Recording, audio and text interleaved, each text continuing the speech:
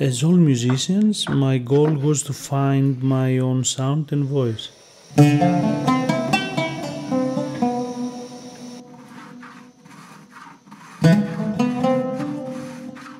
This is why I started searching on how to create an instrument that would enable me to achieve this.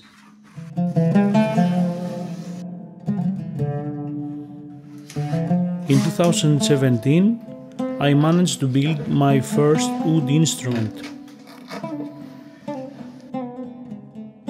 I soon realized that even though the instrument was perfectly tailored to my expectations, much like the vocal cords we used to speak, the strings should just as much deliver on any situation.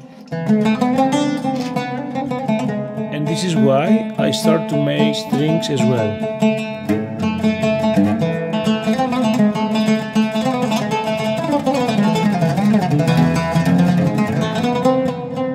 I hope to continue creating instruments and strings made by a musician for musicians, enable them to have the necessary tools to express themselves.